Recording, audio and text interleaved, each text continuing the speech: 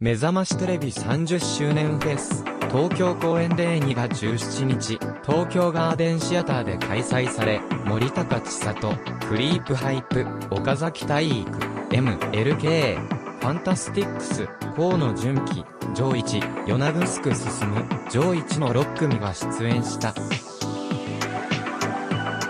フジテレビ系、めざましテレビが4月で、放送30周年を迎えることから、視聴者への感謝を込めて、全国8カ所を巡るイベント。1年かけて全国を巡り、最後の地となる東京公演は2日連続での開催。2日目は、フェスの最終日にふさわしい熱気に溢れたライブと楽しいトークで会場が一つになった。進行は、フジテレビの軽部真一アナウンサー、生田流星アナウンサー、井上聖奈アナウンサー、鈴木優衣アナウンサーが登場し、番組内で放送中のアニメ、ちいかわから、ちいかわと8割も参加。